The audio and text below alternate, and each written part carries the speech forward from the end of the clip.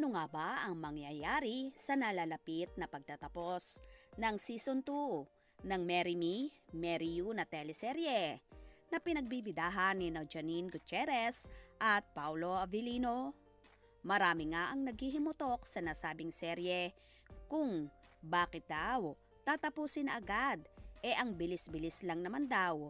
Nakaramihan ay nalulungkot nga kaya naman ang hiling ng kanilang mga fans sana raw ay magkaroon ng book 3 ang nasabing serye na nagpapainit sa kanila gabi-gabi.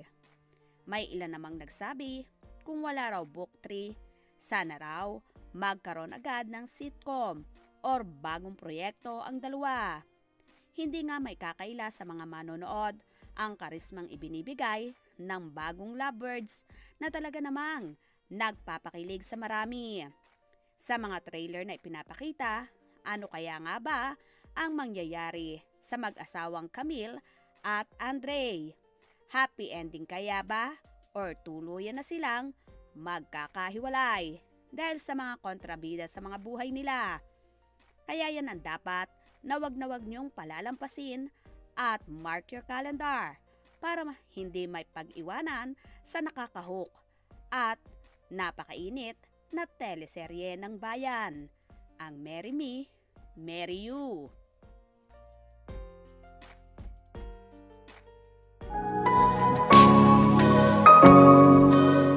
Lahat ba ng love story nagtatapos sa kasalan?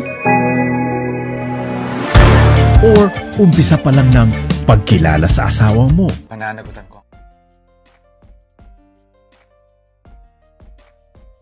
Katotohanan. Ako yung tatanungin ni Tita Lavinia na mag-maid of honor para sa kasal niya. We all want a new beginning. May nagawang kasalanan yan. Kailangan lumabas yung katotohanan. Tawarin niyo po ako. Hindi ko po kayo natulungan. Tulong! Kung hindi dahil sa'yo, baka buhay pa sana ang anak ko! Pagtanggap sa realidad. Gusto niya ipapatay si Capcom natin. Di mo mabigyan si Andre ng anak! Kinotap!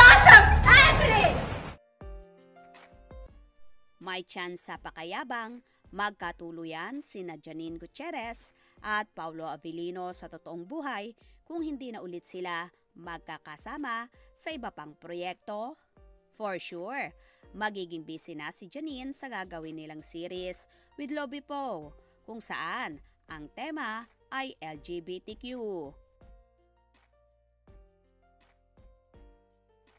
Sa palagay nyo, mag-hit din kaya ba ang serye na gagawin ni Nalobi po at Janine?